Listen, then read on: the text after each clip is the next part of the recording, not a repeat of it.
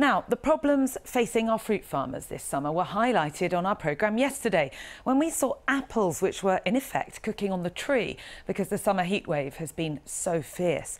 The hot, dry conditions are also posing huge challenges for our sheep and dairy farmers.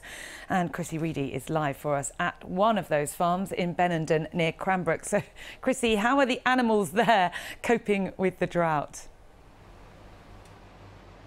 Natalie, it's fair to say it is challenging times for farmers and the animals. Now, these lovely ladies would normally spend about 15 hours a day, say, out grazing on luscious green grass in the field. But of course, the fields are brown. There is nothing to graze on. So they are literally just going out to the fields at the moment for exercise. And of course, what's crucial here is the, the health of the livestock. Of course, these are dairy, uh, dairy cows. They produce milk for the farmers. It's their livelihood. So I think for farmers generally across the board, right now, it's tough.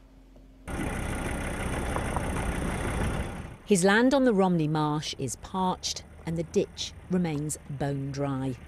With no rainfall since June, Tony's having to provide drinking water for his flock on the mains, and with no grass for them to eat, he's now having to supply supplementary food.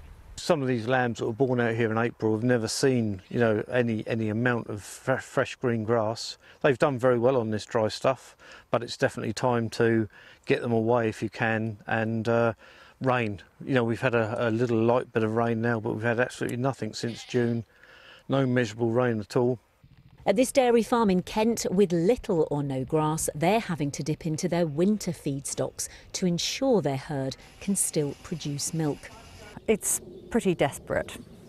We retail our milk directly, so um, unless they get a decent amount of food, um, we will be looking at uh, decrease in milk production which could cause problems.